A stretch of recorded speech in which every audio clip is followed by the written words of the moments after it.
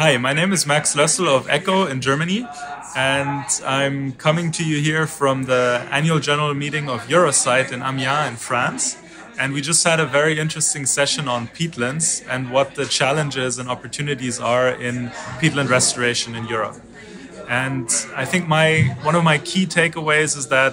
it's absolutely essential to always work with landowners um, and farmers because if they are not convinced, there's no way to get any progress or any momentum in the space.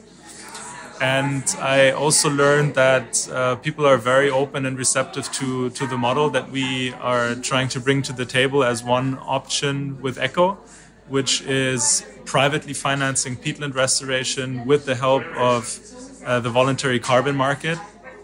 and letting land owners participate in the revenue streams that we generate.